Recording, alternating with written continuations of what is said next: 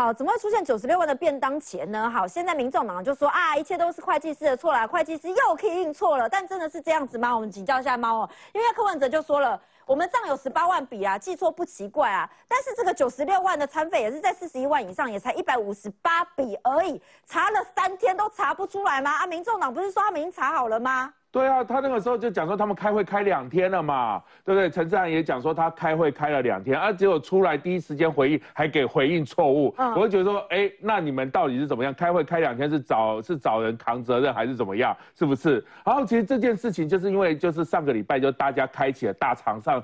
大查账时代嘛，大查账时代。是大家就是每一个网红啊，然后每一个就大家你查我查大家查，然后到昨天晚上就是那个有一个叫做哦那个卧草的那个粉砖嘛，他们就说哎，他们有发现有一笔呃那个便当钱，素食便当钱九十六万，然后就很好奇，然后就呃发文询问了嘛，然后当然呃下午发文之后第一时间回应就陈志啊，我记得陈志好像昨天直播下午五六点的时候。然后你知道他可能看到以后，他也没有查，他直接说啊，那可能 key 错啦，九十六万其实是九点六万 key 成九十六万。我心想不是啊，你们查两天账，结果你自己还是不知道，对，然后还随便乱掰一个呃。答案出来，然后就被大家就沦为笑柄，然后就那个徐府跳出来了，就他大概在快八点的时候，大概隔一两个小时，他就出来发文，就说啊没有啦，我有帮大家找到这两笔发票啦，然后他是说这两笔发票，一笔是那个九百六十块钱，一笔是一百一十块钱，然后 key 的时候不小心连在一起 key，所以就变成九十六万了。好，他这样子讲哦，你以为这样就可以说服我吗？没有，那其实像我这种无聊的人，我就会去对一下他们 key 的时间嘛。嗯，那确实他 key 的时间是去年的九月七号，嗯，这个一百一十块。嗯，那另外一笔是今年的一月七号，嗯，然后 key 进去，我就想说这两笔隔了四个月，怎么会一起 key 呢？你去年九月已经 key 完喽，你为什么今年一月过了四个月，你 key 的时候这笔发票又会拿出来再 key 一次？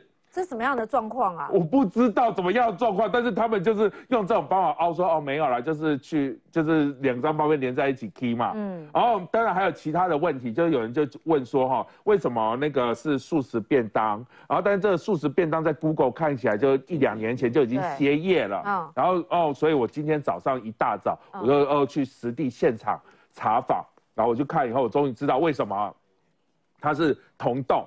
然后前门卖素食店，嗯，后门卖一般的荤食的便当，嗯，所以就同一个老板，然后他们就是只开，他们只有申请一张发票章，所以不管是卖素食的还是卖荤食的，都是用同一个，都是盖这个大爱。素食天地，我就以后他要了一个那个免用，我有吃，我有吃便当，我是真的有吃便当。那你这张是去干妈店买的，是不是？没有，我有我有吃便当，我有请他，我今天早上吃的是小鸡饭一百块钱，然后他有个呃，他有给我一个收据。我放大给大家看啊，就是这个便当然后，一张收据。那我跟你讲，我去的时候，我还有问他们说，哎，不好意思，请问你们营业时间是什么时候？哎，他就说，哦，我们是礼拜一到礼拜五六日不营业。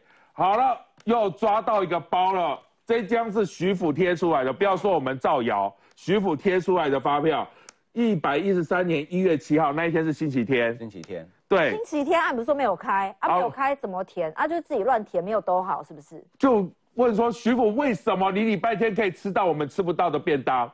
我们应该星期天，他就说他们礼拜天是没有营业的，可是为什么徐府星期天那一天可以买到便当？而且还有很多很好玩的，包括那个其他就是一些小事啦，就包括什么，哎，这边怎么可以写阿拉伯数字啊？如果是会计看到你写阿拉伯数字，你就整个扔回去了。没错，你看像现场，像今天他们实际开给我的，这实际开给我的哦，大写。就他们自己也是写大写，有没有看？哦，有没有看到？这个是他们开的，那那一张可能就是他们自己写的，是不是？对，就可能拿回去自己写，然后自己写就算了哈。我们知道大家便宜行事嘛，这种小事便宜行事。但是你便宜行事，你不要自己写，连日期就写错啊，写成礼拜天，你哪一天不写，你写礼拜天啊？他们今天早上开记者说什么？赖清德跟蔡英文也有去点那家便当，我查过了，赖清德叫便当日期是礼拜一跟礼拜五，所以不是在礼拜天的时候，不是礼拜天啊，就只有你一个人，便当店你可以 K 成九百六十九那个九十六万，可以 K 成九十六万，好，你可以在礼拜天买到便当，那你被我们抓到，你就好好的认错嘛。哎，但戴宇我还在讲说，柯竞选团队恐怕跟赖竞选团队一样，只是吃了便当，其他可能非我方能回代为回答的，又要扯赖清德，又要扯蔡英文，啊，扯到哪里去？就是他们自己记账不实啊。他不止扯扯赖清德，打扯蔡英文，嗯，他们还扯便当店，他还扯便当店。他们说我们没有办法代替业者回答啊，没有啊。业者可能就就给你一张这盖好章的嘛，然后呃呃那个项目写好嘛，那你回去自己填，那你日期给人家乱填，你哪一天不填填人家啊那个休息时间，然后填错被我们抓到，乖乖出来道歉，徐府出来道歉好不好？就说啊不好意思，我们当初真的乱填。没有哦，今天也没有道歉哦。呃，因为我刚刚才去买嘛，嗯，我我刚刚才去问的嘛，时间好不好？对对，我们给他一点时间，因为我刚刚十一十点十一点才买完嘛，然后才跟他确认的，才跟店员确认说他们这礼拜天没有营业。那现在是下午两点，三个小时了，徐府，我希望你出来，哎，乖乖认错，说你们就是乱填日期。不不管接不接受，他就是敢这样讲，嗯，对不对？哈，那事实上大家还发现说，这个何爱婷她确实是一个人才，她不只是在靳总上班，然后还在默可公司上班。那这个今天 Grace 还有一个爆料啦，是说这个何爱婷她还在。众望的这个基金会上班，就是柯文哲的相关企业都轮过一轮。对，所以这真的是一个人才了。好，他靳总也可以。然后，哎，我不知道是不是同时。如果说他是一下子靳总又木可，然后还有这个基金会的话，三份薪水，他只领一份啊，所以应该看起来应该是轮流的吧？玩笑抗议一下。哇，我想说，天哪，这个人可以出。他只要上到三楼就是在进办上班，下到二楼叫木可，隔壁办公室就基金会啊。你蛮近的。对啊。坏老板，你坏透了，你的那个坏透了，你这个真是可以这样。你是看错人还是眼睛不好？你会觉得柯文哲是好老板吗？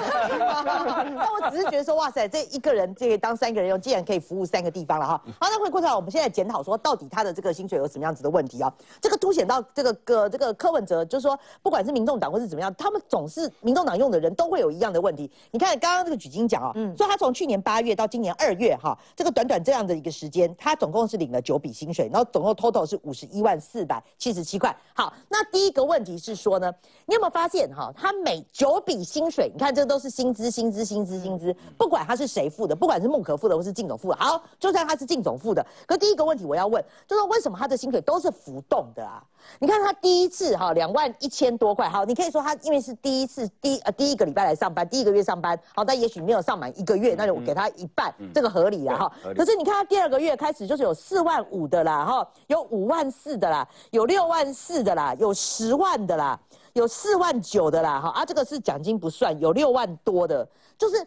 我很少看到，我们一般正常上班不是薪水都讲好的吗？不会啊，高鸿安办公室的薪水都高鸿安办公室的助理费啊，薪水都是助理薪水就是每个月都在浮动啊。这通常我们跟我们一般的逻辑不合，因为我们薪水落实在生活的每一天。哦，没有，我我们以前当记者不是就是你的薪水固定薪水啊，固定啊，就四万就四万啊，顶多就是多了一个什么加班费、加班奖金。难道他们这个就是加班费加上来吗？有可能哦，因为民众党的薪资结构跟我们想象中可能不一样，可能他们真的很忙吧，或者是他真的身兼三职啊。好，那好，这是第一个，就是说为什么每一个月的薪资浮动，好，这个就是好像跟一般人的常理，但也许呢，他们可能又把加班费加进去了哈。那第二个又来了，这个就是民众党的一个惯性，他们很爱回捐，坏透了，坏 又又回捐又回捐了哈。这是惯老板，你看啊，他这个是第六笔的时候，突然就多了一个十万块啊，十万块他这边现金呐哈，那看起来就是回捐哈，他这边就是讲回捐，然后然后但是很怪啊，他回捐十万块之后呢，下一个月马上又十万九千块进账哎。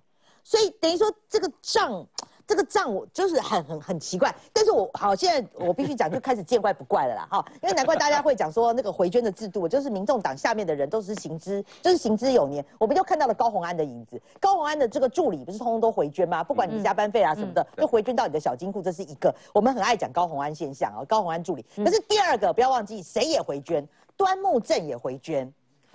记不记得端木正回捐，富邦独董也要回捐给民众党？这个事情是怎么爆料的？这个事情就是说，因为端木正他去那个面试台大 EMBA 口试的时候，他就自己去跟老师讲说，他是因为他是做富邦的独董。后来呢，他这个富邦独董的薪水，他自己承认说他有回捐到民众党。结果没想到这件事情，结果后来被简书培议员给爆料，就端木正去告这三个人呢，他去告台大 EMBA 的这个告告院长，对，好，告告管院的院长跟教授，还有告这个简书培。后来这件事情是不起诉。诉的。结果后来为什么这件事情会引发哗然？而且这个他想要告，因为他就是说泄露各自去告这三个人，后来是不起诉。原来是说，原来你富邦金的独董，你的薪水，富邦金独董，我要问严凤啊，大概多少？有没有一年有没有两两三百？好像什么两三百，大家外界是传说大概一千万呢。一千万，对啊，富邦金独董这么多，可以推荐我一下。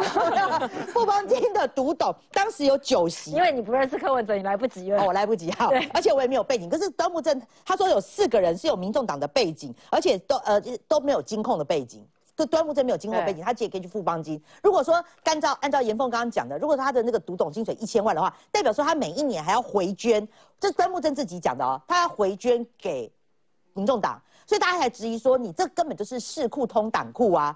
你民众党推荐端木正去付邦金当独总，每年领一千万独董的薪水，结果后来你又再回捐给民众党党部。这不是市库通？哎，那就柯文哲来讲，会觉得说你们这一些位置啊，你们这一些薪水都是我给你的，所以你回捐我本来就是应该的吗？所以你看嘛，高鸿安也是这样干，然后端木正也是这样干，然后在现在连这个何爱婷也是这样干，所以有这个回捐的制度。所以，我我最后会觉得说啦，这个这个这个，我觉得民众党的这个账，或者是说为什么他们老是有一些这个账务不清的问题，他们就是喜欢把自己的这个账目搞得很乱，难怪每一个人离开他们到最后都是颇有怨言啦。好，但我还。是必须要讲啦，为什么要回捐？这个要讲清楚，还是说你是因为做账？可能就我个人黄奕敢往我随喜啊，我想要捐出我两个月的薪水不行吗？我爱党，我爱党，就只能说他太中，每个入民众党的人都有心理准备。如果你老板叫你回捐两个月的薪水，不愿意，我只能拒绝，告他，我只能半个月都不愿意，还两个月？对，我只能说民你要去民众党相关企业或是民众党下面用的人上班，你都有心理准备。捐出你今天的通告费，